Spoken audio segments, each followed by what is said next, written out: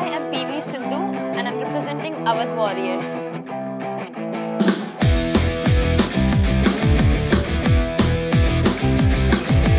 I'm in the Lucknow team. It's gonna be a tough competition with everyone.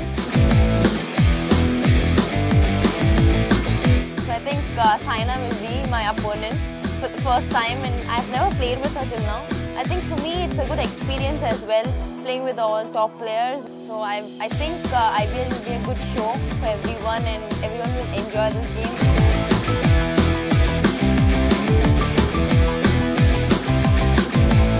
It's going to be the match to watch out for.